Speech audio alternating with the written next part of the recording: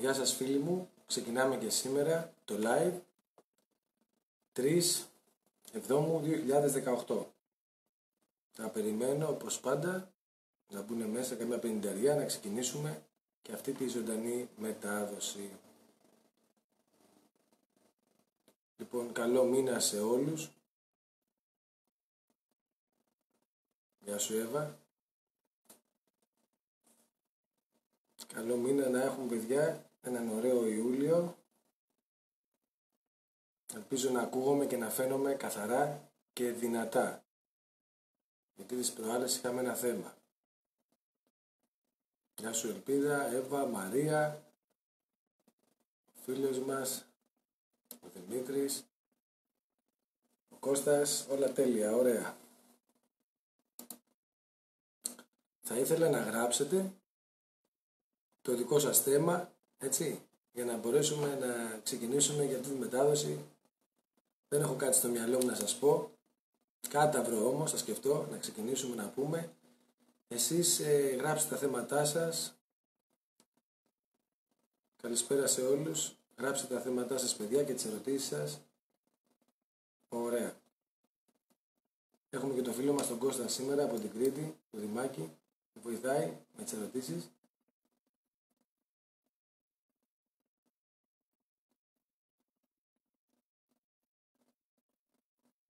Ωραία, ναι, καλό μήνα σε όλους. Γεια σου Στέφανε. Θα κάτσουμε λίγο ακόμα φίλοι μου, να μπουν και οι υπόλοιποι φίλοι μας, να μην καθυστερεί. Και θα ξεκινήσουμε. Καλησπέρα Μαρία και σε όλους τους φίλους από το εξωτερικό. Η Μάρθα, όπως βλέπω εδώ μέσα είναι, τη Γερμανία, από την επαρχία και Ωραία. Ωραία, χαίρομαι.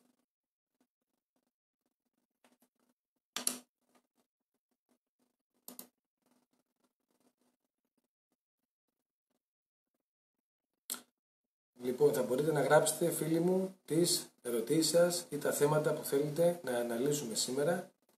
Επίσης, το κανάλι στο YouTube, όπως θέλει να γραφτεί, για να βλέπει όλες όλα τα βίντεο που έχω ανεβάσει, έτσι. Και φυσικά τις Κυριακές κάνουμε ακόμα τις διαλέξεις εδώ για τα διάφορα μαθήματα όπου θα λέγαμε εν συντομία σας λέω καμιά φορά εδώ την Τρίτη τις περισσότερες φορές από τις ομιλίες που κάνω έτσι τις Κυριακές ορισμένα αποσπάσματα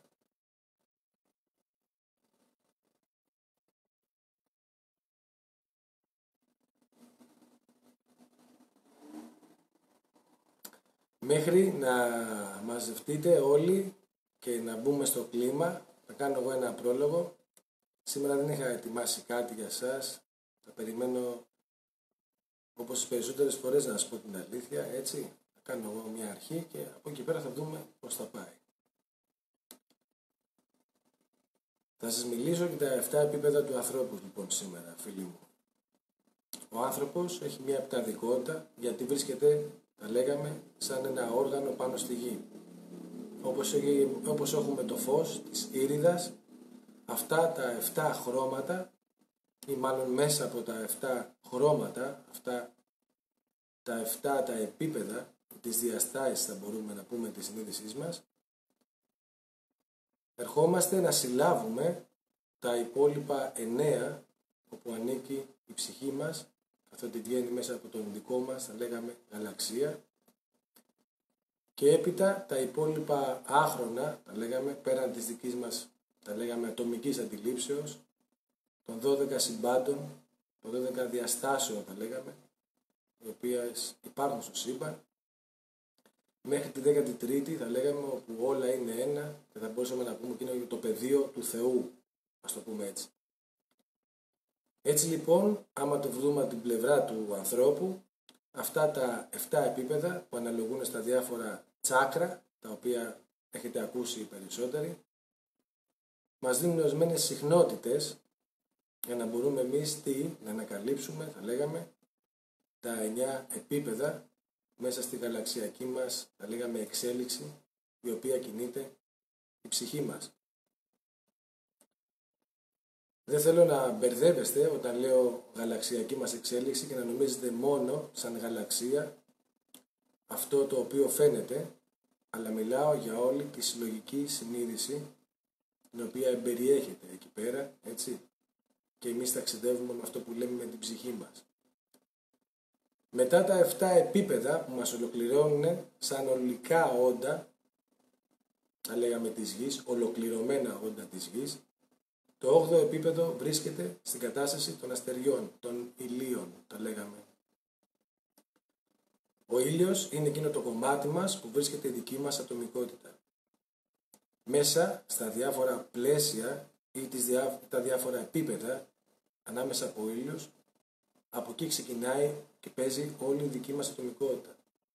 Μέσα στους διάφορους ήλιους θα λέγαμε, εκεί έρχεται η δική μας ατομικότητα, εκείνο το δικό μας ατομικό, μοναδικό κομμάτι που έχουμε, η πρώτη κρυστάλλωση μετά την ψυχή θα λέγαμε, και αρχίζει και παίζει, θα λέγαμε, στην πρώτο, σε αυτό το πρώτο επίπεδο μέσα στον κόσμο των ηλιακών ακτίνων. Γιατί ο ήλιος δεν είναι τίποτα άλλο, αυτό το σύστημα το ηλιακό, οι χιλιάδες εκατομμύρια, δισεκατομμύρια ύλη που υπάρχουν, παρά μια ανταλλαγή της κοσμικής ενέργειας και μετουσίωσή της στα κατώτερα επίπεδα.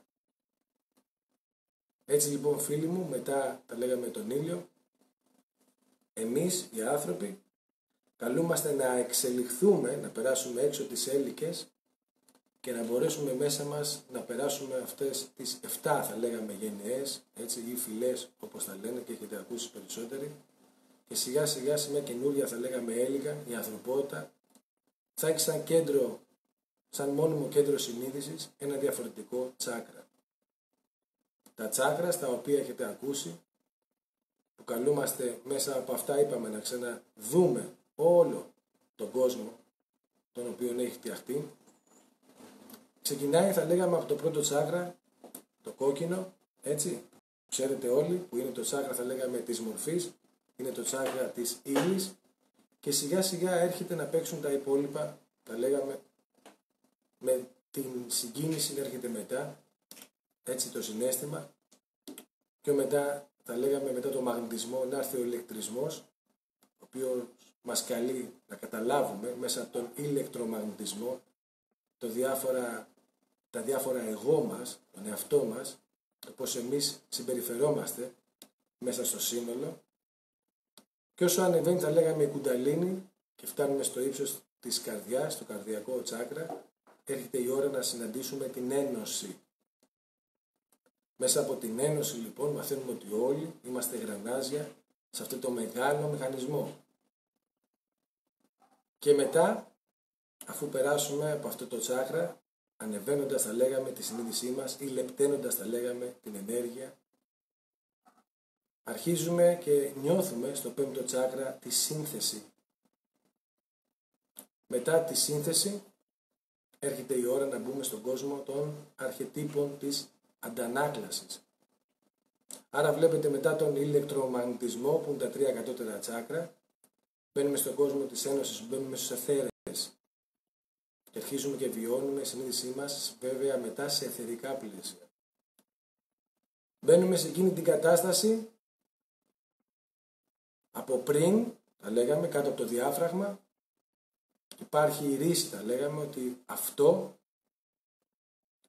και το άλλο. Και είμαι ανάμεσά τους η μάχη. Μόλις φεύγουμε από το διάφραγμα και πάμε, τα λέγαμε, στα ανώτερα τσάκρας, αρχίζει και βλέπουμε ότι υπάρχει και το ένα, υπάρχει και το άλλο. Και έτσι έρχεται η συμπαντική ένωση. Ότι όλοι είμαστε γρανάζια μέσα στο μεγάλο μηχανισμό και όλοι συνεργαζόμαστε. Μόλις ανεβαίνουμε στο πέμπτο τσάκρα, τότε αρχίζει και γίνεται το ένα, είναι το άλλο. Αρχίζει η ομοποίηση, η σύνθεση. Και αφού έχουμε ξυπνήσει, τα λέγαμε τη συνείδησή μας σε όλα αυτά τα πράγματα, κάθε φορά εμπεριέχουμε όλα τα από κάτω, όλα τα από κάτω θα λέγαμε τσάκρα.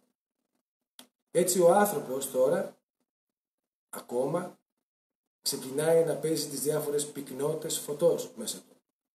Πυκνότητες φωτός ή πυκνότητες συνείδησης θα λέγαμε.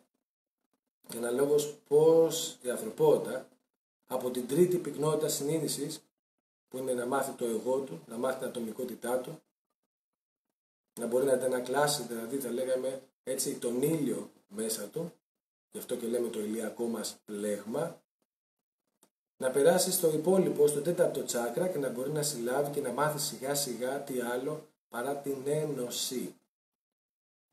Η ένωση είναι να καταλάβουμε ότι όλοι μας, όλοι μας, το οτιδήποτε υπάρχει, δουλεύει συνδημιουργικά. Μέσα στο μεγάλο μηχανισμό που λέμε αγάπη, Θεό, συνείδηση. Βλέπετε όμως ότι εμείς σαν όντα, θα λέγαμε, πολυεπίπεδα τελικά, αυτό τον καιρό περνάμε από την τρίτη πυκνότητα συνείδησης στην τέταρτη. Το επόμενο μάθημα λοιπόν που καλείται να παίξει ανθρωπότητα είναι να μάθει την αγάπη, την ένωση. Και όλη η ζωή θα βασίζεται πάνω στη μάθηση της ένωσης. Γνωρίζοντας πλέον ότι όλα συνεργάζονται μεταξύ τους και ότι όλα υπάρχουν για κάποιο λόγο, αλλάζει τελείως η όψη που βλέπουμε τη ζωή. Αλλάζει τελείως όλο αυτός ο πόλεμος που νιώθουμε ότι κάτι δεν θα έπρεπε να υπάρχει στη ζωή μας. Ανεβαίνοντας το τσάκρα θα λέγαμε της καρδιάς, όταν ανεβάζουμε τη συνείδησή μας, τη λεπταίνουμε ή την μετασχηματίζουμε σε εκείνη την κατάσταση, αρχίζουμε και βλέπουμε τριγύρω μας εαυτούς. Αρχίζουμε και βλέπουμε τριγύρω μας αδελφούς. Αρχίζουμε και βλέπουμε τριγύρω μας συνεργάτες. Άλλους ηθοποιούς στο μέγα έργο το οποίο έχουμε ανεβάσει στην αυλαία της ζωής. Οι υπόλοιποι άνθρωποι που έχουν, θα λέγαμε, εξελίξει τον εαυτό τους στα ανώτερα πεδία και έχουν δουλέψει, θα λέγαμε, και με το πέμπτο, θα λέγαμε, τσάκρα, καταλαβαίνετε πώς μπορούν να μεταπηδούν από την Ένωση στη σύνθεση. Η σύνθεση είναι να μπορείς να κοιτάς το ίδιο μέσα σε όλα. Η σύνθεση είναι να μπορείς να πηγαίνεις από ένα αντικείμενο στο άλλο. Αυτό που λέμε όπως πάνω έτσι και κάτω. Η σύνθεση είναι αυτό που βλέπετε πολλές φορές σε μένα για να μπορώ να σας μιλάω για το ίδιο πράγμα σε όλα τα επίπεδα. Γιατί μπορώ και βλέπω τον τύπο ο οποίος υπάρχει σε όλα τα επίπεδα και διαστάσεις. Και αυτό καλούμαστε να το συλλάβουμε γιατί στην πραγματικότητα εμείς τι κάνουμε, όλες οι διαστάσεις, όλα τα όντα και όλες οι μορφές παίζουν την πρωταρχική κίνηση, την πρωταρχική θέληση. Απλά επειδή αυτό παίζεται σε όλες τις διαστάσεις, κάθε διάσταση μας δίνει διαφορετικό βίωμα. Αλλά στην πραγματικότητα, αυτά τα fractals, το μόνο που κάνουν είναι να, παρα, να, να παραγάγουν, τα λέγαμε, την πρωταρχική θέληση. Βλέπετε στην αρχή, στο κέντρο, στον πυρήνα, το πρώτο πράγμα θα λέγαμε που ξεκίνησε ήταν η θέληση. Η θέληση μετατράπηκε σιγά σιγά σε κίνηση. Η κίνηση μετατράπηκε σε δόνηση. Η δόνηση σε συχνότητα. Η συχνότητα σε ενέργεια. Σε αρχέτυπα. Και μετά η ενέργεια πυκνώνεται και γίνεται μορφή. Όλα αυτά τα πράγματα λοιπόν σας τα λέω τώρα γιατί ξεκίνησα να σας πω ότι καθώς λοιπόν είμαστε στο κέντρο υπάρχει μια σταθερότητα και στην περιφέρεια πάντοτε φίλοι μου υπάρχει όλο αυτό το πάνω και το κάτω. Όλη αυτή η διαφοροποίηση. Όλη αυτή η αλληλοεπίδραση. Είναι φυσικό λοιπόν εμείς όταν είμαστε στο κέντρο μας, είτε στον ήλιο μας, είτε στο γαλαξία μας, είτε στον εαυτό μας, να μπορούμε να βλέπουμε τους διάφορους δορυφόρους. Και η συνείδησή μας λοιπόν να μην είναι ταυτισμένη τόσο πολύ στο εξώτερο. Άρα να πηγαίνει μαζί η περιφέρεια με το κέντρο. Ξέρουμε ότι στην περιφέρεια υπάρχει ελεύθερη βούληση. Γιατί εκεί πέρα δεν υπάρχει μεγάλη, θα λέγαμε, ένωση. Ίσως θα μπορείτε να πείτε ότι υπάρχει μεγάλη αλληλεπίδραση. Άρα είτε στο κέντρο του σύμπαντος, εμείς θα είμαστε στην άκρη. Για να μπορούμε να παίζουμε όλα αυτά τα πράγματα που παίζουμε με τις μεγάλες αποκλήσει. Είτε στο κέντρο του γαλαξία, όπως βλέπετε το δικό μας, το Milky Way, βλέπετε ότι εμείς είμαστε, θα λέγαμε, στην άκρη. Ακόμα και προς το δικό μας, θα λέγαμε, κέντρο, έτσι, στον πλανήτη, εμείς είμαστε στον φλοιό. Έτσι και εμείς σαν άνθρωποι, στην πραγματικότητα, εμείς είμαστε στο δέρμα, στη σάρκα. Και επίσης οι διδασκαλίες, γι' αυτό πολλές φορές μεταφράζουν τα άστρα σε συνδυσιακά πρότυπα και λένε ότι οι ψυχές που χάνουν, τα λέγαμε, τον εαυτό τους ή τα διάφορα εγώ μας τα αποκομμένα αντανακλούν στην δική μας σελήνη, στην περίμετρο. Όσο απομακρυνόμαστε λοιπόν από το κέντρο μας, υπάρχουν αυτά τα πράγματα. Αυτό εξακολουθεί να συμβαίνει και όταν οι άνθρωποι ξεκινάνε από τα αρχαία χρόνια, εκατομμύρια χρόνια πριν και σε άλλους πλανήτες και τους δικούς μας να φεύγουν από το κέντρο τους. Αρχίζει λοιπόν και το DNA να φεύγει από το κέντρο και να φτιάχνει μορφές που δεν είναι συμβατές και ισορροπημένες. Αρχίζει λοιπόν και ο άνθρωπος να φεύγει από το κέντρο του και να αρχίζει να γίνεται να υβριδιάζεται. Δηλαδή να γίνεται υβρίδιο, ύβρις προς τον Δία, ύβρις προς τον κοσμικό νου, ύβρις προς την ομοτέλεια. Και όταν λέμε ύβρις εννοούμε παρέκκληση, αντίθεση, ψέμα, μία αλήθεια. Άρα στην πραγματικότητα βλέπετε ότι εδώ εμείς οι άνθρωποι, καθότι όλοι είμαστε επιράματα ενώσεων, συνθέσεων, διαφόρων εξελίξεων και αναμίξεων, βλέπουμε πολλές φορές ότι η μορφή μας έχει φτάσει σε εκείνο το επίπεδο να μπορεί να ζει σε αυτούς τους κόσμους που να έχουμε γεμάτο πόνους, πίκρα και οι ψυχές μας να έχουν συρρυκνωθεί σε διάφορες μορφές που αυτές οι μορφές δεν μπορούν να υποστηρίξουν, θα λέγαμε, μια ωραία ζωή, μακροχρόνια, χωρίς ασθένειες. Ο άνθρωπος του μέλλοντος καταλαβαίνετε ότι επειδή θα είναι ακριβώς ισορροπημένος και πιο πολύ στο κέντρο του, θα μπορεί να κρατιέται πιο πολύ στην ύπαρξη. Δεν θα έχει τόσες ασθένειες. Θα του δοθεί παραπάνω χρόνος για να μπορεί να κάνει άλλες αποστολές. Ο χρόνος της ζωής μας δεν είναι τίποτα άλλο παρά από τι αποστολή μέσα μας έχουμε προγραμματιστεί να κάνουμε. Όταν ένας άνθρωπος δεν έχει όνειρα, αποστολές, η ζωή του φαίνεται μικρή. Μια αναπαραγωγή και μετά τέλος. Όμως, κάθε μορφή μας δίνει τη δυνατότητα να έχει το δικό της κύκλο. Συγκεκριμένα, σε αυτούς τους, ε, μακρινούς, τους μακρινούς, θα λέγαμε, το κέντρο κόσμου στους οποίους ζούμε, είναι φυσικό ορισμένα πράγματα να τα ονομάζουμε κακό, γιατί μέσω της ελεύθερης βούλησης δίνεται η δυνατότητα σε ορισμένα όντα να δουλέψουν αρνητικά, να εκμεταλλευτούν άλλα όντα. Αυτό το πράγμα γίνεται όταν αναμειγνύονται πάρα πολύ, θα λέγαμε, οι παλιές με τις νέες ψυχές. Στη μορφή όταν αναμειγνύονται, θα λέγαμε, οι σωστές ισορροπημένες μορφές με τις ανισόρροπες. Κάθε φορά λοιπόν όταν κάτι γέρνει προς τα κάτω είναι φυσικό να δημιουργεί μια μορφή η οποία θα είναι πιο εξασθενισμένη μέσα στα πειράματα για να φτιάξουν τον δυνατότερο άνθρωπο φτιάξανε ορισμένα όντα να μπορούν να πονάνε μέσα στη ζωή γιατί δυστυχώς χρησιμοποιούν τέτοια, τα λέγαμε, τέτοιες συνθέσεις όπου αυτή η μορφή που φτιάχνει συγκεντρώνει λίγο ποσοστό, θα λέγαμε φωτός, συνείδησης. Αυτή η ίδια αντανάκλαση συμβαίνει και στην πραγματικότητα την οποία ζούμε, φίλε. Όσο παράξενο και σας φαίνεται ή άδικο. Σε αυτούς τους κόσμους που επιτρέπεται, σας το ξαναλέω, ελεύθερη βούληση και παίζουν τόσα πολλά θέματα, μέχρι αυτούς τους καιρούς υπήρχε αυτή η βρυδιακή ανάμειξη. Και πολλές φορές βλέπουμε μπερδεμένα πράγματα και ερχόμαστε να αναλογιστούμε στην προφητεία. Εκείνη που έλεγε και όταν θα έρθει η ώρα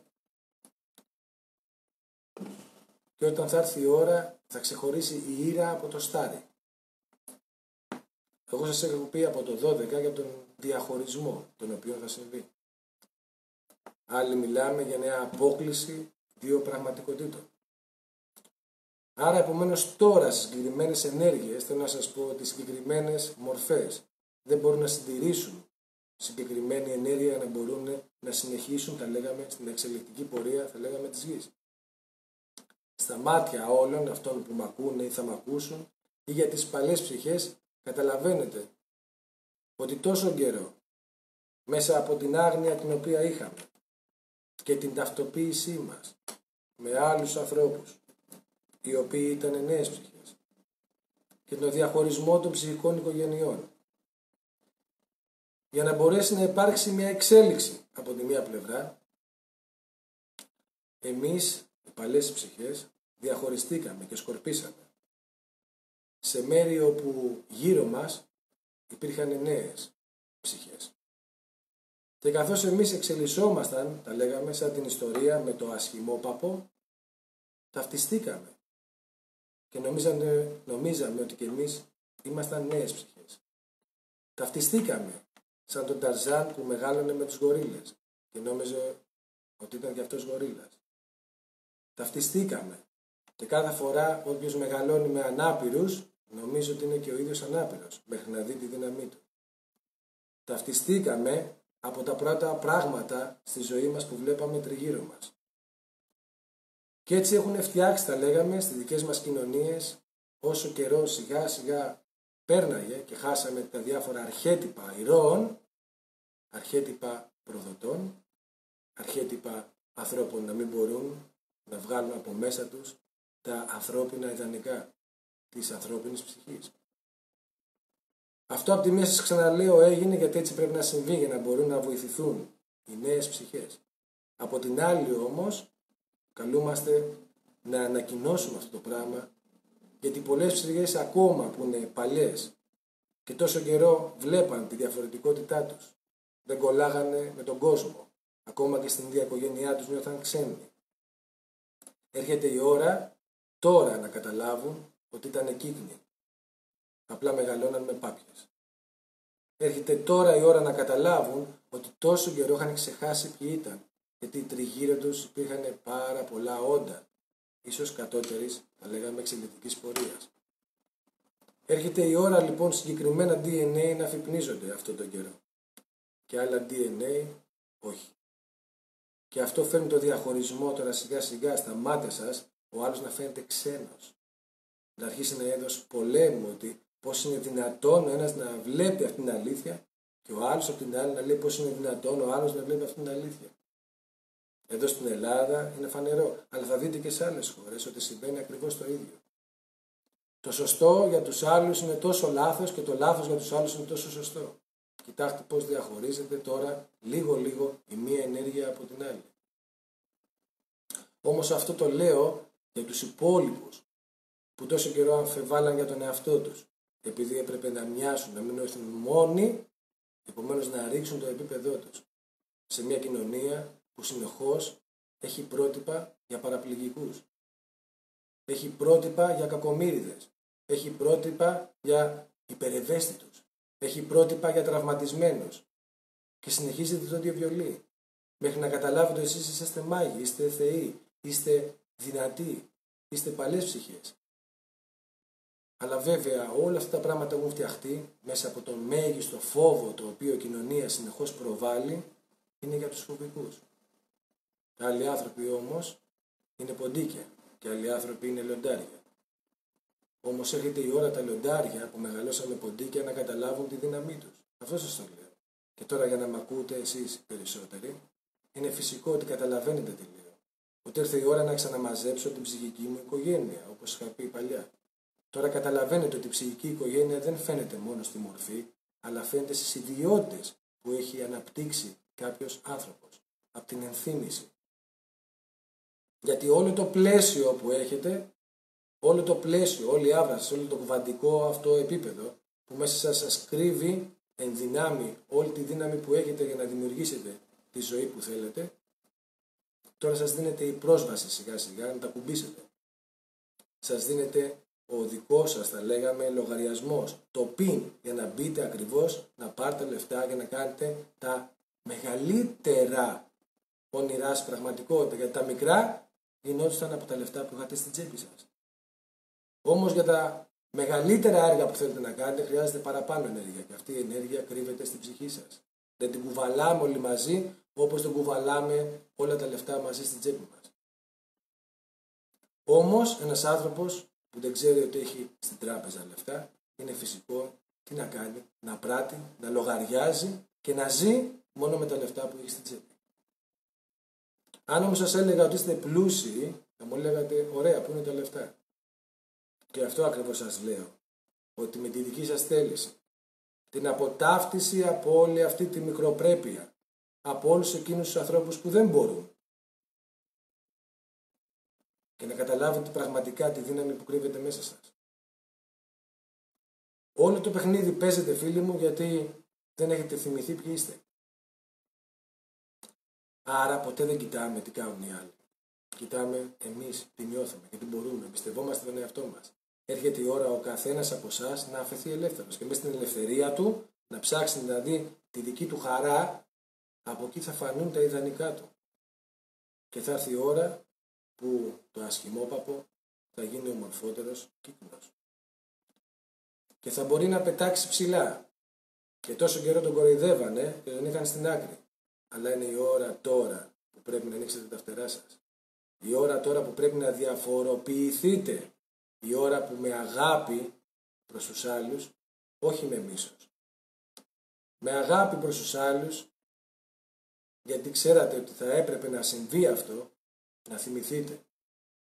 Με αγάπη λοιπόν προς τους άλλους που τόσο καιρό σας έκρυβαν το ποιοι είσαστε. Που τόσο καιρό εσαρκώσεις ολόκληρες σας βάλανε να νομίζετε κάθε φορά το ίδιο τροπάριο. Με αγάπη και κατανόηση ότι εμείς οι ίδιοι ζητήσαμε να παίξουμε αυτό για να μπορούν και οι άλλοι μέσα από εμάς τι να κάνουν, να πάρουν μια δύναμη από εμάς που κατέχουμε την ενεργοποίηση του εγκεφάλου, ίσως, την ενεργοποίηση ορισμένων ιδιωτήτων που μπορούμε να συλλαμβάνουμε παραπάνω ευαισθησία, κοσμική ενέργεια. Βλέπετε λοιπόν μέσα αυτό το παιχνίδι που πάντοτε είναι ένα ουδέτερο θα λέγαμε παιχνίδι, έτσι, παίζουμε διάφορους ρόλους, άλλους καλούς, άλλους κακούς, αλλά όλοι οι ρόλοι έχουν τη δική τους, θα λέγαμε, αξία. Και πρέπει να έχεις ταλέντο για να τους παίξεις.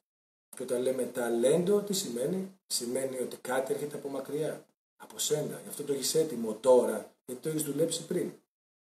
Έτσι λοιπόν οι διάφοροι προφήτες δεν είναι τίποτα άλλο παρά αυτοί που είχαν προφητευτεί όταν σαρκωθήκαν με ορισμένες ενθυμίσεις, με ορισμένες ενεργοποιήσεις.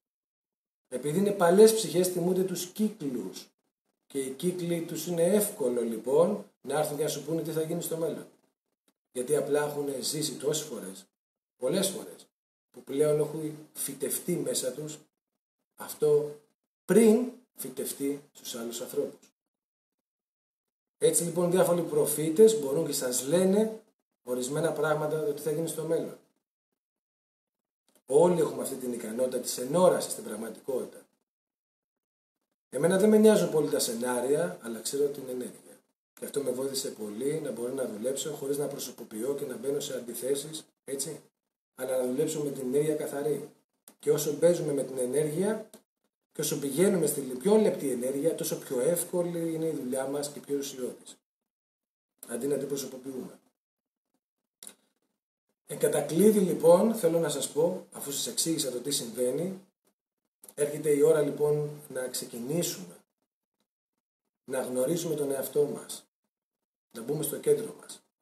Και έρχεται τώρα η ώρα της αφύπνισης πολλών ανθρώπων που τόσο καιρό ταυτισμένοι με την κοινωνία, με τα πρότυπα της κοινωνίας, με τους φόβους της κοινωνίας και γενικά με όλο το συλλογικό της κοινωνίας είχαν ξεχάσει ποιοι ήταν.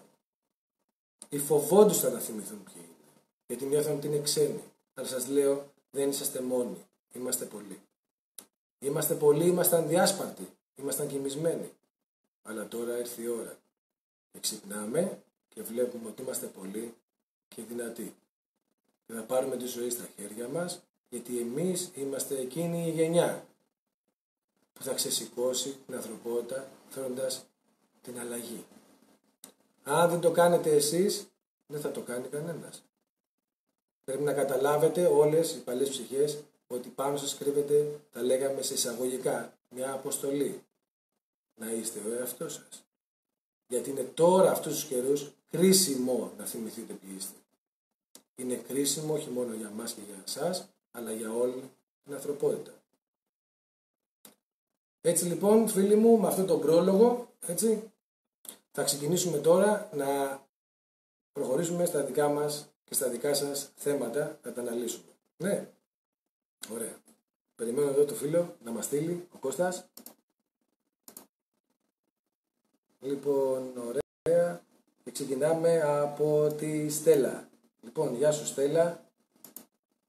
Α, λέει η Στέλλα, αυτό που με προβληματίζει είναι πως οι άνθρωποι που γνωρίζουν το φως, που γνωρίζουν το φως και μιλάνε ωραία για αυτό, και μιλάνε ωραία για αυτό, κάνουν κακό ακόμα και σε συγγενείς που τους έχουν σταθεί. Εδώ βλέπω ένα παράπονο από τη Στέλλα. Στέλλα, όταν έχεις ένα παράπονο μιλάει το κατώτερο κομμάτι του αποκομμένο.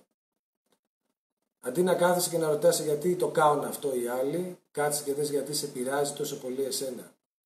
Αναβάθμισέ το και μπες πρώτα στην αγάπη και μετά θα σου έρθει η απάντηση. Μέσα από το πρόβλημα δεν έρχεται η λύση. Η λύση πάντα είναι απ' έξω. Κάτσε, ανέβασε την δόνησή σου, ξαναμπες στην αγάπη, βγες από την κατώτερη συχνότητα του παραπώνου της αδυναμίας και θα δεις μέσα από τη δύναμη πώς θα μπορείς να συγχωρέσεις αυτό που έχει συμβεί, θα το δεις μέσα σου και θα το καταλάβεις. Εντάξει, βγες από το παράπονο, δεν υπάρχει αδικία, ο καθένας αγαπάει με τον τρόπο του, αναβάθμισέ το. Εντάξει, αυτή είναι η απάντησή μου, δεν θα πω κάτι άλλο, τα υπόλοιπα θα τα καταλάβεις. Λέει η Μένη, πες μας για το πώς αλλάζει η συνειδητότητά μας την φυσιολογία μας. Όλα τα οποία έχουν φτιαχτεί εδώ Μένη είναι επειδή υπάρχει κάποια συνείδηση. Ακόμα και η τεχνολογία δεν κάνει τίποτα άλλο παρά να ανακλάει τη συνείδηση. Η διόραση, η ενόραση, η τηλεπάθεια, δεν είναι τίποτα άλλο από όλα αυτά τα όργανα που έχουμε, που έχουμε βγάλει, έτσι, όπως το τηλέφωνο, η τηλεόραση, έτσι δεν είναι; Και όλα αυτά τα πράγματα τα οποία λέμε ολογραφικό σύστημα. Κάθε φορά που μέσα μας το κοσμικό φως ρέει καλύτερα, ε, πρέπει να καταλάβουμε ότι η μορφή η ίδια θα πρέπει να έχει, καλύτερα, να έχει γίνει καλύτερος αγωγός. Άρα λοιπόν θα λέγαμε όπως είναι εμείς που τους γυμνάζουμε και γίνονται θα λέγαμε πιο δυνατοί και πιο μεγάλοι, έτσι μπορούμε να γυμνάσουμε όλα τα όργανα μέσα μας, ακόμα και το νευρικό μας σύστημα. Ένας άνθρωπος μπορεί να μην έχει γυμνάσει, θα λέγαμε, το σώμα του και να μην έχει μυς. Άλλος δεν γυμνάζει το συγκινησιακό του και δεν έχει ευαισθησία στα συναισθήματα. Άλλος δεν γυμνάζει το νοητικό του και δεν έχει ευαισθησία, θα λέγαμε, στις νοητικές του, θα λέγαμε, καταστάσεις. Καταλαβαίνετε λοιπόν ότι μέσα μας, αναλόγως στην γύμναση, την οποία κάνουμε, τις περισσότερες φορές μέσω της αντίστασης, της προπόνησης, έτσι, δημιουργούμε προκλήσεις στους εαυτούς μας για να εξελιχθούμε. Χωρίς προκλήσεις δεν υπάρχει εξέλιξη. Επομένως, όταν ε, θα λέγαμε ότι ένα σώμα πρέπει να υποστηρίξει ένα ποσοστό συνείδησης, αυτή η τέλεια θα λέγαμε δικαιοσύνη της πρόνοιας, της θείας πρόνοιας, πάντοτε βάζει τη συγκεκριμένη συνείδηση στο συγκεκριμένο σώμα, για να έχει τη δική της εξελικτική πορεία. Φανταστείτε λοιπόν ότι οι νέες ψυχές, τις περισσότερες φορές, που έρχονται να βουτήξουν λίγο στη ζωή της εισάργωσης στο 3D, θα δείτε πολλές φορές ότι είναι μικρές, παραπληγικές, με ανικανότητα να μπορούν να ζήσουν πολύ καιρό. Δεν είναι ότι κάνανε παλιά και έχουν κάρμα, όπως ο κόσμος περισσότερος νομίζει, έτσι, θα το εξηγήσουμε άλλη φορά αυτό. Άρα είναι γιατί πάντοτε, θα λέγαμε, αυτές οι νέες ψυχές δεν ξέρουν ακόμα να εκφράσουν το κοσμικό φως και έτσι λοιπόν έρχεται η ώρα λίγο-λίγο να βουτήξουν, θα λέγαμε, έτσι, λίγο το πόδι τους στη θάλασσα, αντί για τον άλλον πάει κάνει βουτιά και κολυμπάει, έτσι, και κάνει το ελεύθερο, πεταλούδες και τα υπόλοιπα. Επομένως, όσο πιο αδύναμη έρχεται η, στη ζωή, έτσι, και με λιγότερες, θα λέγαμε, καταστάσεις αναισθησίας, μία ψυχή, ας το πούμε έτσι, τόσο λοιπόν πιο νέα είναι. Άρα λοιπόν καταλαβαίνετε ότι τώρα και με την αίσθηση θα λέγαμε της αυτοκτονίας που μου έρθει τώρα στο μυαλό ότι όποιος θέλει να αυτοκτονήσει έχει συγκεκριμένη δόνηση στην άβρα του. Αυτή η συγκεκριμένη δόνηση της απογοήτευσης που νιώθει καθώς πεθαίνει η άβρα που έχει τον συγχρονίζει πάλι θα λέγαμε με μια πραγματικότητα την οποία θα έχει κατεβάσει θα λέγαμε λίγο τον πύχη έτσι, αντιλήψεως, ευαισθησίας για να μπορεί να παίξει εκεί πέρα χωρίς τόσο τεράστιο πρόβλημα τη δική του εξέλιξη ξανά για να μπορεί να προχωρήσει. Καταλαβαίνετε τώρα για ποιο λόγο λένε ότι η αυτοκτονία ας πούμε δεν ωφελεί; Γι' αυτό ακριβώς το λόγο. Γιατί όταν εμείς εγκλωβιζόμαστε σε ένα μικρό κομμάτι του εαυτού μας, αποκομμένο, έρχεται η ώρα να παίξουμε ανάλογο σενάριο για να μπορούμε μέσα από αυτό το κομμάτι να νιώσουμε δυνατοί. Αν ένας άνθρωπος λοιπόν από λοντάρι, θα λέγαμε τώρα παραβολικά, διαλέξει να ζει στο ποντίκι και να πεθάνει, με την ποντική και θα λέγαμε αντίληψη, είναι φυσικό θα λέγαμε αλληγορικά ότι στην επόμενη εσάρκωση θα βγει στο βασίλειο των ποντικιών για να παίξει εκεί κανονικά την ποντική του εξέλιξη μέχρι να ξαναφτάσει, θα λέγαμε, στη λονταρίσια. Κάπως έτσι γίνεται και στη συνηθισιακή μας ανάπτυξη όταν εμείς αυξομειώνουμε ανάμεσα στα ζωικά μας, θα λέγαμε, πάθη που αντανακλούν σε αυτό που σας είπα, ποντίκι, λιοντάρι και τα υπόλοιπα. Λοιπόν, προχωράμε παρακάτω. Λέει η Μαρία, μπορείς να μας πεις για την παραβολή του Ιούδα και τι εννοείς ο Χριστός όταν έλεγε πουλα όλα τα υπάρχοντά σου και ακολούθαμε. Λοιπόν, λέει η Μαρία για τον Ιούδα. Λοιπόν, ο Ιούδας φίλοι μου πρέπει να καταλάβουμε ότι είναι ο επαναστάτης νους το διανοητικό, το μπερδεμένο. Ο Ιούδας είναι ο προοδότης. Ο Ιούδας είναι εκείνος που προδίδει τον εαυτό του στην πραγματικότητα, το φως μέσα του, το Χριστό μέσα του. Όλοι έχουμε υπάρξει Ιούδες. Προσέχτε όμως ποια είναι η ουσία της παραβολής. Δεν είναι ότι προδίδει το φως μέσα του. Είναι ότι το λέει ότι το καταλαβαίνει και αυτοκτονεί. Αυτό είναι το μεγάλο ψέμα του διανοητικού Φιλίππου. Ο Ιούδας ποτέ δεν μετάνιωσε. Ο Ιούδας απλά είδε τι έκανε και δεν του άρεσε ο εαυτός του και αυτοκτόνησε. Ο Ιούδας είναι ο μέγας κατακριτής, ο μέγας προδότης. Ο ποτέ που δεν μετάνιωσε ποτέ. Αν ο Ιούδας μετάνιωνε θα γινόταν Χριστός. Όμως ο Ιούδας, σας ξαναλέω, είναι εκείνο το διανοητικό τρικ που παθαίνουμε όλοι μας όταν δεν αποδεχόμαστε τον εαυτό μας. Και έτσι πολλοί άνθρωποι, επειδή γνωρίζουν ότι προδώσανε μέσα την ψυχή τους, γνωρίζουν ότι προδώσανε το φως, γνωρίζουν ότι προδώσανε τη συνείδησή τους. Έχουν το εγώ του Ιούδα, το διανοητικό τρικ της κατάκρισης και της ενοχής μόνο, που αντί να αλλάξουν πραγματικά, να βάλουν άλλο νου, να μετανοήσουν και να γίνουν άλλοι άνθρωποι, μένουν στο ίδιο μοτίβο και αυτοκτονούν. Μπορεί όχι σαν την κρεμάλα του Ιούδα, αλλά βλέπετε τι κάνουν στον εαυτό τους. Ασθένειες, απαισιοδοξία, ίσως πολλές φορές εθισμούς άλλους, έτσι, μια τέλεια, λίγο λίγο γλυκιά αυτοκτονία από τον ίδιο τον εαυτό μας που δεν άλλαξε ποτέ. Έτσι, ψευτομετάνιωσε δηλαδή. Είναι σημαντικό αυτό το κλειδί για να καταλάβουμε το τρικ για αυτούς που είναι συνεχόμενα κολλημένους στην ψευτομετάνια, έτσι, και λένε ότι συνέχεια θέλω, καταλαβαίνω το λάθος μου, ναι, ξέρω, ξέρω, ξέρω, αλλά στην πραγματικότητα δεν αλλάζουν ποτέ και το μόνο που κάνουν είναι να αυτοκτονούν σιγά σιγά τον εαυτό τους. Λοιπόν, προχωράμε παρακάτω και λέει και τι σημαίνει λέει που έλεγε πουλα όλα τα υπάρχοντά σου και ακολούθαμε. Είναι φυσικό να μην τα παίρνουμε όλα αλληγορικά. Έτσι.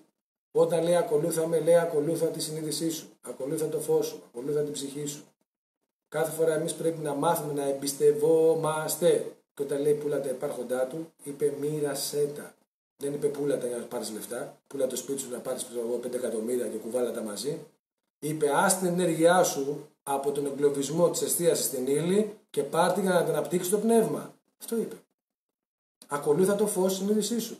Η συνείδηση όταν έχουμε πολλά υλικά πράγματα, φίλοι μου, και ασχολούμαστε με πολλά υλικά πράγματα, είναι εγκλωβισμένη στο να εστιάσει όλα αυτά τα πράγματα που έχουμε τριγύρω μας ή με τους διάφορους δεσμούς τους οποίους έχουμε. Μπορεί ένας άνθρωπος να είναι τελείως αποταυτισμένος από την ύλη, γιατί απλά να μην έχει σχέσεις και να μην έχει ταυτιστεί και να μην έχει δεσμούς. Ένας άνθρωπος όμως που είναι ηλιστή, είναι φυσικό ότι όλη η συνείδησή του να είναι, θα λέγαμε, δέσμια αναλόγως στο πόσα υπάρχοντα πάονται νομίζει ότι έχει ανάγκη για να ζήσει τη ζωή του. Το καταλαβαίνετε αυτό. Ξέρουμε εμείς εσωτερικά ότι τίποτα στην πραγματικότητα δεν μας έρχεται ή τα αγοράζουμε, το παίρνουμε. Η ύλη πάντοτε ή θα είναι κβαντική ή θα γίνει υλική. Είτε είστε χοντρός, είτε είστε λεπτός, είτε είστε πλούσιος, είτε είστε φτωχός, Το μόνο που κάνετε είναι την αόρατη ύλη σας να την κάνετε ορατή. Μερικές λοιπόν ψυχές που να περάσουν συγκεκριμένα παιδεία, την αόρατη ύλη τους την κάνουν ορατή και τους βλέπετε να επεκτείνονται στην ύλη. Να έχουν σπίτια, λεφτά, ιστορίες, το ένα το άλλο, γιατί έτσι θέλουν να παίξουν τη δική τους, θα λέγαμε, εξέλιξη. Άλλα όντα που θέλουν να τραβήξουν και να εξπεδονίσουν ψηλά, θα λέγαμε, την ύλη τους, την ενέργειά τους, θα το πούμε έτσι, τι κάνουν, αφήνουν και ζουν μια ασκητική ζωή για να περάσουν όλη την ενέργεια που έχουν και να αναπτύξουν, θα λέγαμε, προς τα πάνω για να μπορούν να ζήσουν πάνω, θα λέγαμε, και να φτιάξουν πάνω άλλα πράγματα έτσι στον εσωτερικό μας κόσμο. Μετά έρχεται η ώρα που αυτά τα δύο πρέπει να πηγαίνουν σε ισορροπία. Εντάξει. Καταλαβαίνω ότι έχετε ακούσει οτιδήποτε απ' έξω έτσι, για αυτά τα πράγματα, αλλά σας είπα είναι οι απαντήσεις πολλές φορές εκφυλισμένων νοών και όχι από νόες που είναι ενωμένοι με την πηγή από εκφυλισμένους νόες, ο καθένας που δεν έχει μάθει τη σύνθεση, δεν έχει μπει στην πραγματική θα λέγαμε ουδετερότητα, είναι φυσικό ότι ο καθένας εκλογικεύει αναλόγως αυτό που υποστηρίζει το κάθε εγώ του, έτσι και βγάζει ορισμένα συμπεράσματα. Όταν φύγουμε λοιπόν από την κατάκριση, καταλαβαίνουμε, χωρίς να κατακρίνουμε, ο καθένας λοιπόν, θα λέγαμε, σε τι επίπεδο εξελικτικής πορείας έχει. Όταν όμως έχουμε κατάκριση και δεν θέλουμε να αποδεχτούμε τον εαυτό μας, το μυαλό μας δίνει πάρα πολλές εκλογικεύσεις μόνο και μόνο για να αισθανόμαστε καλά με αυτό που κάνουμε. Μας βοηθάει τουλάχιστον να το κάνουμε. Καταλάβατε, το ίδιο μας το μυαλό. Γι' αυτό υπάρχουν οι εκλογικεύσεις, για να μην μπαίνουμε συνέχεια στον πόνο, θα λέγαμε, γιατί ακόμα δεν είμαστε ικανοί να δεχτούμε την αλήθεια. Πολύ εσπλαχνία, έτσι ο Θεός, ε. Τα έχει προβλέψει όλα. Λοιπόν, λέει η Εύα, Καλησπέρα, είμαστε τελικά πειράματα αναμίξεων. Τα πάντοτε, τα πάντα, όπως σας είπα, στην περιφέρεια δεν είναι τίποτα άλλο παρά αλληλοεπιδράσεις. Οπότε ναι, ό,τι είναι στην περιφέρεια είναι πειράματα αλληλοεπιδράσεων. Ακόμα και εμείς και οι σχέσεις μας που κάνουμε εδώ δεν είναι τίποτα άλλο παρά αλληλοεπιδράσεις. Πειραματίζουμε τις ενέργειές μας κάνοντας σχέσεις, κάνοντας σεξ, κάνοντας φιλίες, ανταλλάζοντας απόψεις. Δεν τις πειραματίζουμε.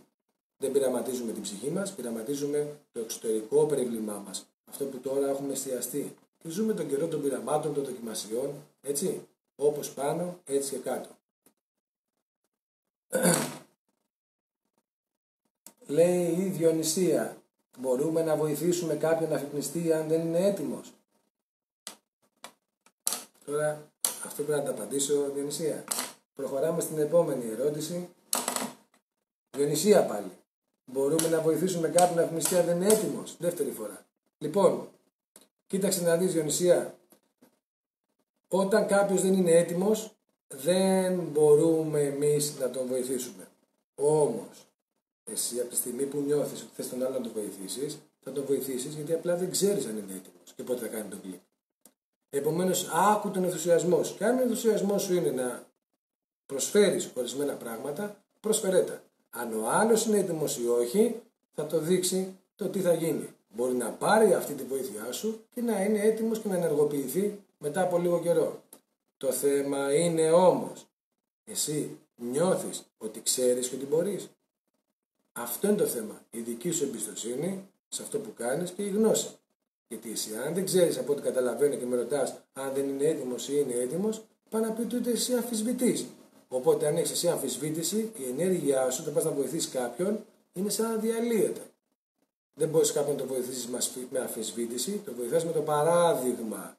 Επομένως, φτιάξει τον εαυτό σου, να είσαι μια κατάσταση εμπιστοσύνης, ακολουθεί τον ενθουσιασμό σου, να είσαι μια δόνηση σταθερή και μετά η βοήθεια θα έρθει μόνο από τη ζωή σου. Δεν χρειάζεται τίποτα άλλο να κάνεις. Αν από την άλλη έχεις και άλλες ιδιότητες, θα έρθει πάλι στη ροή. Αλλά δεν μπορείς κάποιον να το βοηθήσεις όταν εσύ ήδη δεν μπορείς να βοηθήσεις τον εαυτό σου και συνεχώς στην αμφισβήτηση. Έτσι, πρέπει να το καταλάβουμε αυτό, ε. Όταν μπαίνουμε μέσα μας, στη δική μας πληρότητα, τότε δεν αμφισβητούμε, είμαστε πλήρει. Όταν εμείς ακολουθούμε τον εαυτό μας, τον αυθεντικό, δεν αμφισβητούμε, είμαστε πλήρεις. Αν θα το πούμε έτσι όπως οι περισσότεροι ξέρετε, αν είμαστε στο νου μας, είμαστε στο μέλλον και στο παρελθόν. Οπότε εκεί είναι αμφισβήτηση. Όταν είμαστε στο τώρα, δεν υπάρχει αμφισβήτηση, απλά δράμε στον ενθουσιασμό μας, στο τώρα, σε αυτό που είμαστε. Έτσι.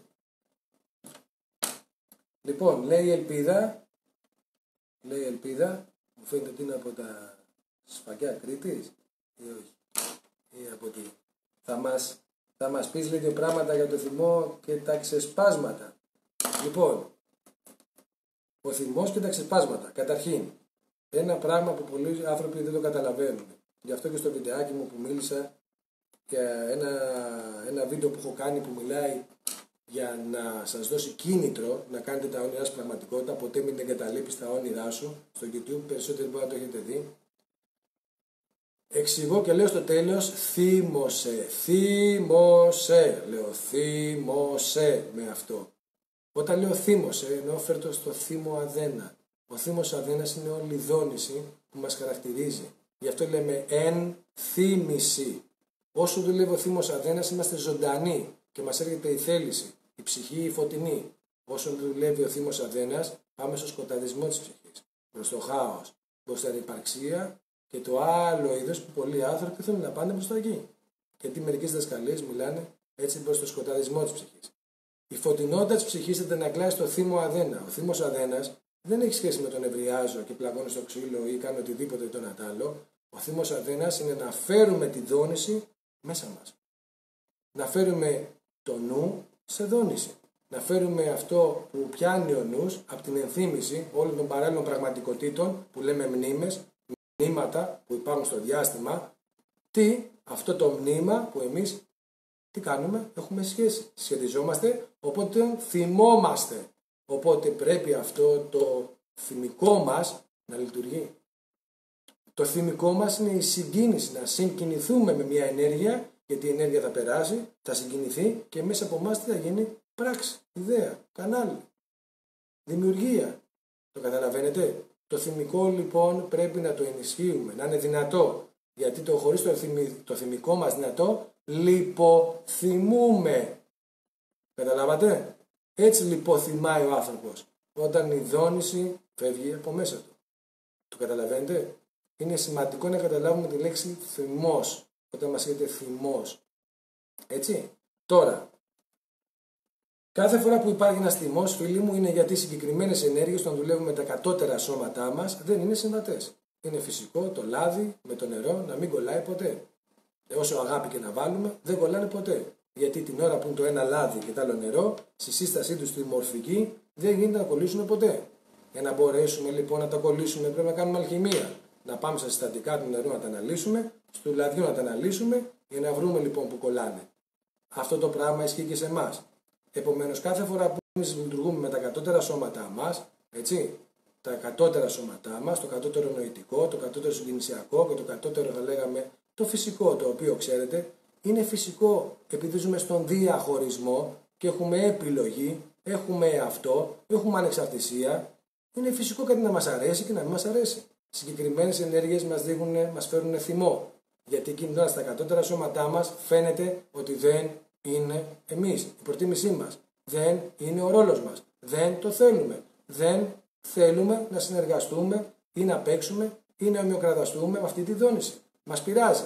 Πώς είναι το δηλητήριο, σαν να έχουμε ένα και μας δίνει δηλητήριο. Εκείνη την ώρα μέσα μας συμβαίνουν πολλά πράγματα. Εμείς όταν προχωράμε λοιπόν αυτή τη δόνηση και την ανεβάζουμε στα ανώτερα σώματά μας, τα αλχημικά που λειτουργούν με ενέργεια, εκεί μπορούμε να το συγχωρέσουμε. Άρα λοιπόν επειδή ζούμε εδώ πέρα και ζούμε στα σώματα τα φυσικά, όσο και να θέλετε να, μην, να λέτε ότι όχι, εμείς είμαστε πνεύματα, θεοί, στο έστω άλλο, έχουμε και φυσικό σώμα. Αφού έχεις φυσικό σώμα, η μπουνιά θα σε πονέσει.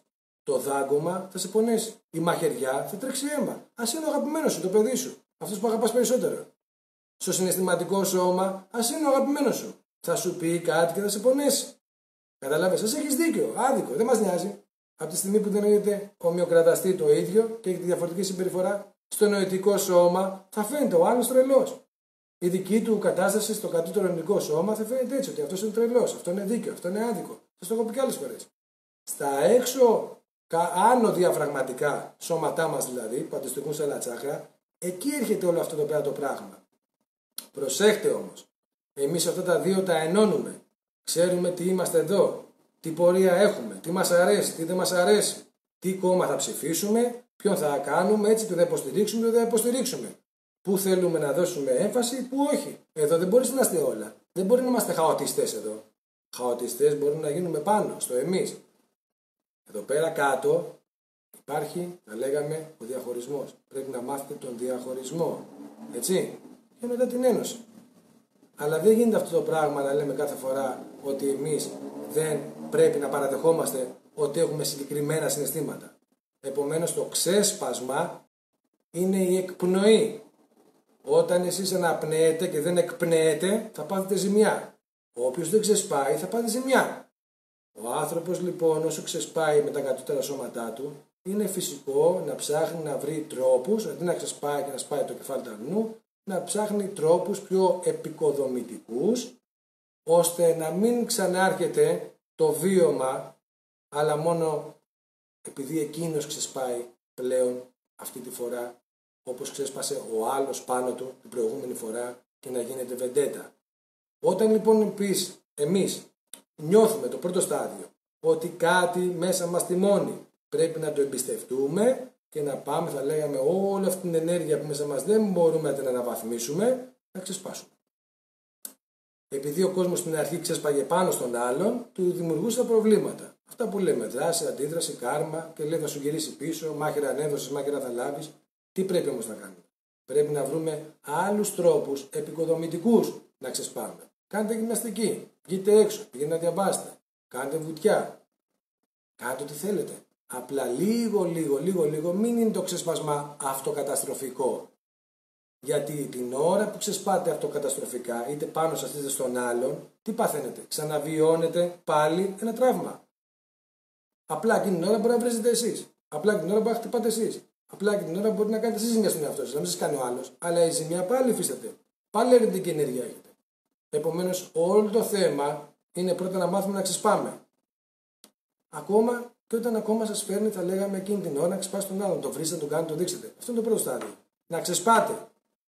Το δεύτερο στάδιο είναι να ξέρετε πού να ξεσπάτε καλύτερα ώστε να μην έχετε πίσω ένα feedback αρνητικό. Το τρίτο στάδιο λοιπόν τι είναι, να προλάβετε τη συνείδησή σας να τη βάζετε πριν πάρετε το δηλητήριο, έτσι, και να το μετουσιώνετε. Αυτό είναι μια εκπαίδευση σιγά σιγά να λειτουργούμε όσο πιο γρήγορα γίνεται με τα ανώτερα σώματά μας. Τα συνειδησιακά σώματά μας. Καταλάβατε; Όπως ανεβαίνει η κουνταλίνη, έτσι ανεβαίνει κάθε φορά η ενέργεια όταν μπαίνει μέσα σας. Όσο πιο αναβεσμένη κουνταλίνη έχετε, τόσο πιο γρήγορα η ενέργεια θα, πηγαίνει, θα περνάει όμως από όλα. Επομένως, το θέμα τι είναι; Όχι να πνίξουμε τα συναισθήματα να το παίξουμε ότι είμαστε αναβαθμισμένοι. Όχι. Να τα δοκιμάσουμε, αλλά να τα ξεχνάμε πιο γρήγορα. Θα φεύγουν πιο γρήγορα. Μέχρι στο τέλος που θα είναι σαν να μην τους δίνουμε καθόλου εστίαση. Οπότε είναι σαν να μην έρχονται καθόλου. Και να φαίνεται σαν μια αναισθησία. Αλλά δεν είναι καθόλου αναισθησία. Είναι η πλήρης και γρήγορη μετουσίωση της ενέργειας της παχυλή σε πιο λεπτή. Το καταλαβαίνετε; Σε καμία περίπτωση λοιπόν, τι σας έχω πει ποτέ, ακολουθήστε τα, τα, τα συναισθήματά σας. Είναι σημαντικό να κάθεστε να τα βλέπετε και λίγο λίγο θα τα μάθετε και λίγο λίγο θα γνωρίσετε τα νέα σώματά σας και λίγο λίγο θα ανεβαίνει από τη μία εικόνα στη δεύτερη εικόνα, στην τρίτη εικόνα, στην τέταρτη εικόνα και θα δείτε ότι λίγο λίγο άλλοι στον καιρό τους, στον χρόνο τους αυτό που πριν σα νευρίαζε, μετά από μια ώρα, δύο ώρες, τρεις ώρες, τέσσερις ώρες, πέντε ώρες, ένα χρόνο, ο καθένας στη δική του θα λέγαμε εξελικτική πορεία. Και αναλόγως στο πόσο μπορεί να ενθυμηθεί τον εαυτό του, θα έρχονται και οι συνειδήσεις των ανωτέρων σωμάτων τους. Το καταλαβαίνετε πώς πάει. Αλλά σε καμία περίπτωση, όταν ακόμα λειτουργούμε σαν ζώο, δεν πρέπει να κρατάμε όλα αυτά τα πράγματα για να το παίξουμε άνθρωποι. Πρέπει να είμαστε αληθινοί, να μάθουμε, να πάθουμε. Δεν γίνεται να είμαστε όλοι στο καθώ πρεπισμό. Γι' αυτό συνεχόμενα να με βλέπετε και μιλάω έτσι. Ο καθώ πρεπισμός δεν είναι αναβάθμιση, ίσα ίσα που είναι αργοπορία. Αφαιθείτε να είστε ελεύθεροι, πάρτε την ευθύνη των πράξεών σας και θα μάθετε. Αν δεν είστε ελεύθεροι, δεν θα πάρετε την ευθύνη και δεν θα μάθετε ποτέ. Γιατί ποτέ δεν αφαιθήκατε να δείτε τι είμαστε στην πραγματικότητα. Αφαιθείτε. Θα βγάλετε και το κτίνος, θα βγάλετε και τον άγγελο. Αφαιθείτε όμως να δείτε που είστε γιατί δεν υπάρχει στο χάρτη μόνο ένα σημείο που θα πάμε, υπάρχει και το σημείο που είμαστε. Αλλιώς δεν γίνεται να λειτουργήσει το GPS.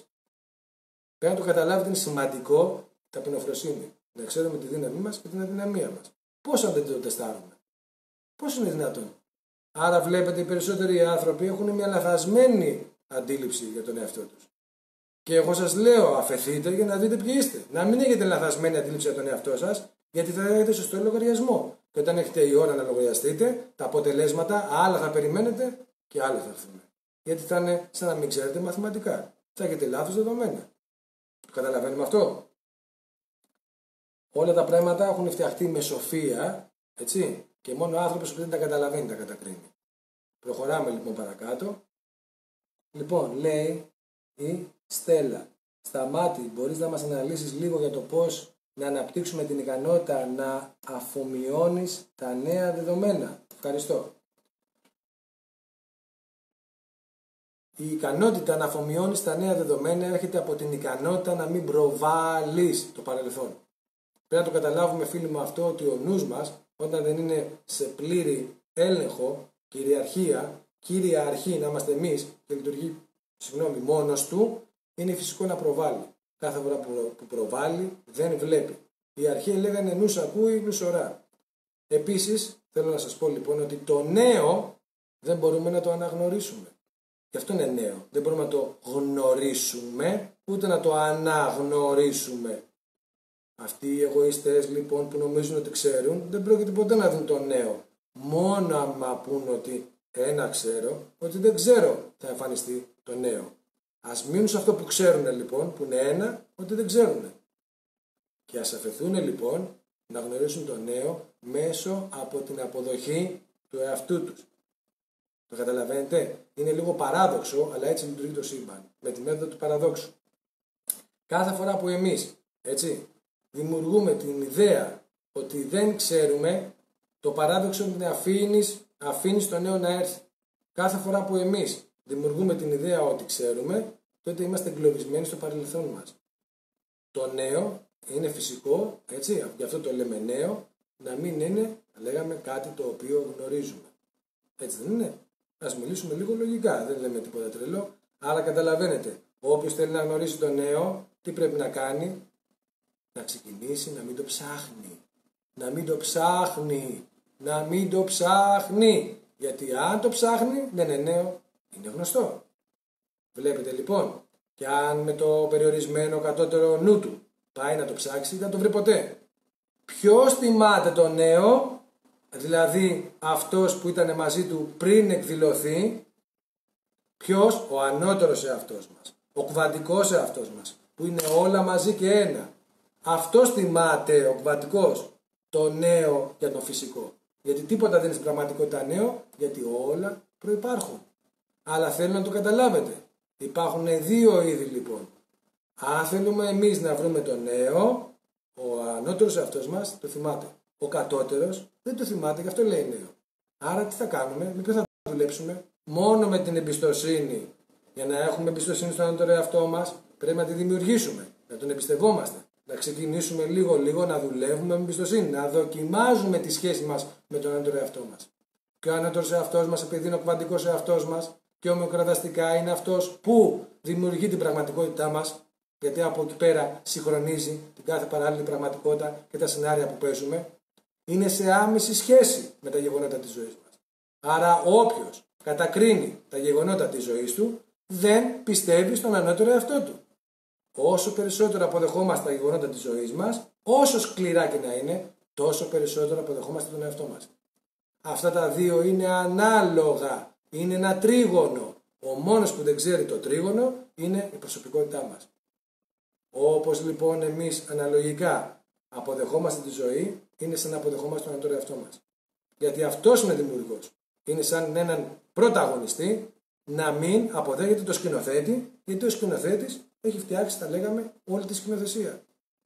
Το βλέπετε; Όταν βλέπει λοιπόν ο, ο ηθοποιός και ανεβαίνει να παίξει ένα ρόλο και ξαφνικά βλέπει άγνωστο το περιβάλλον, εκείνη την ώρα δεν συνεργάζεται με τον σκηνοθέτη. Ο σκηνοθέτης όμως θα φτιάξει τη σκηνή για να παίξει με σκηνή ο άλλος. Έτσι, θέλει εμπιστοσύνη λοιπόν κάθε φορά. Οτιδήποτε γεγονός, δεν πάνε ανασθένεια, θάνατος, το ένα, το άλλο. Ό,τι και να θυμάστε. Να θυμάστε ότι δεν είναι τίποτα έξω από μένα. Ότι ο ανώτερος εαυτός μου είναι αυτός που με συγχρονίζει με τα γεγονότα της ζωής. Εγώ το μόνο που έχω να κάνω είναι να μπορώ τι, να είμαι ο εαυτός μου για να μπορώ να δώσω πίσω στον ανώτερο εαυτό μου το feedback από το βίωμά μου. Πώς το βίωσα, πώς το πέρασα και να κλείνει το τρίγωνο συνεχόμενα και να γυρίζει και να υπάρχει εξέλιξη. Αυτό το πράγμα είναι. Όσο εγώ συνέχεια αποδέχομαι, αποδέχομαι, αποδέχομαι ή μάλλον δεν αποδέχομαι την πραγματικότητα, η εξέλιξη είναι αργή. Λειτουργώ σαν ζώο. Λειτουργώ σαν το πρόγραμμα. Στο κάτω μέρος όταν είναι η συνείδηση είναι το πρόγραμμα. Στο πάνω μέρος όταν είναι η συνείδηση είναι ο προγραμματιστής. Αυτό που λέτε Θεός και το δημιούργημα. Όσο εμείς από δημιούργημα ανεβάζουμε τη συνείδησή μας, γινόμαστε προγραμματιστής.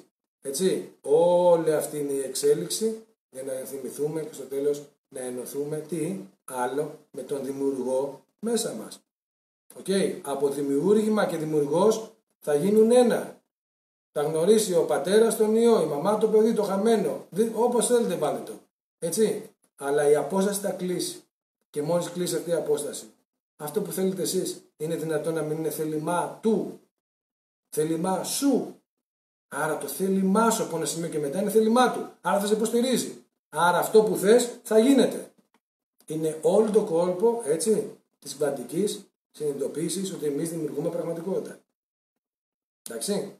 Όσο μεγαλύτερη η ένωσή μας με τον εαυτό μας, τόσο μεγαλύτερη η δύναμη της δημιουργίας μας.